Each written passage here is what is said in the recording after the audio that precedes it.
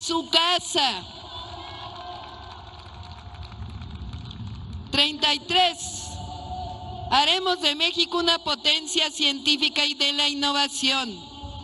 Para ello apoyaremos las ciencias básicas, naturales y las humanidades.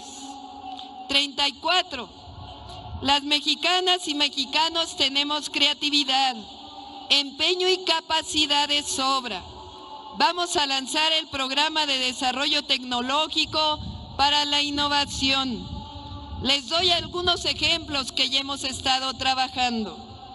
Produciremos Elolínea, que significa moverse en náhuatl, un pequeño auto de acceso popular 100% eléctrico, 100% diseñado por jóvenes mexicanos y mexicanas y ensamblado totalmente en nuestro país.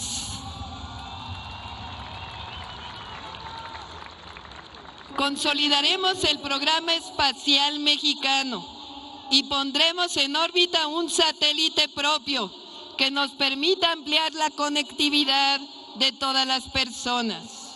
Nos integraremos a la cadena de producción de semiconductores, pero también los desarrollaremos en el país. Pondremos en marcha la producción de litio con desarrollo tecnológico propio. Crearemos una fábrica de software público y un centro de ciberseguridad e inteligencia artificial.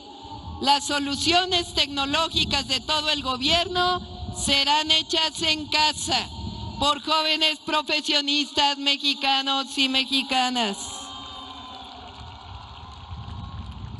Produciremos drones de bajo costo y alta eficiencia, equipos de telecomunicaciones cifrados, equipos de diagnóstico y monitoreo de enfermedades y tecnologías para el ahorro del agua y la energía. Será tecnología hecha en México por mexicanas y por mexicanos.